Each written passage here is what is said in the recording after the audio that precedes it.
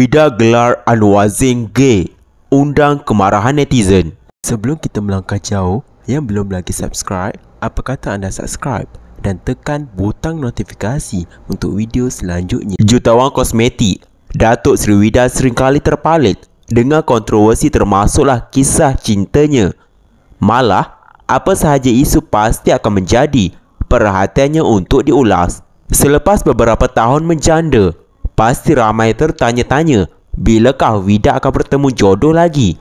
Baru-baru ini, tular video dikongsikan oleh seorang netizen mengenai Wida. Menerusi video tersebut, Wida berkata ada netizen memberi cadangan supaya Wida mengorat penyanyi bersuara merdu Anwar Zain. Namun, jawapan yang diberikan oleh Wida mengundang kemarahan netizen. Walaupun Wida seolah berbisik namun jelas kedengaran usahawan itu menyebut gay. Melihat pada ruangan komen, netizen meluahkan rasa terkejut dan kurang senang dengan gelaran diberi oleh Vida itu. Kata netizen, penyanyi lagu I Am Me itu tidak sepatutnya keluar perkataan tersebut. Kata netizen lagi, tidak bermakna kaya boleh melakukan sesuka hati.